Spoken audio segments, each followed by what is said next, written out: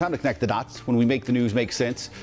A COVID 19 vaccine still months away. Unfortunately, researchers now say that may be the only thing that could help life return to normal.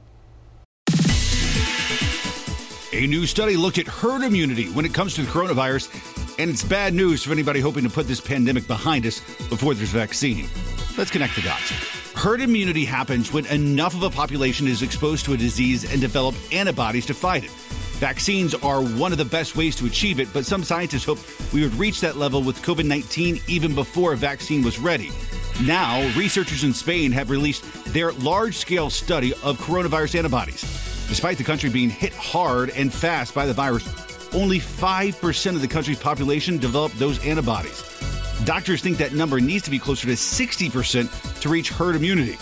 Those researchers say herd immunity for COVID 19 is basically unachievable without a vaccine, and that's not all. Doctors still don't know for sure if having COVID 19 antibodies means you can't get infected again. And that is connecting the dots.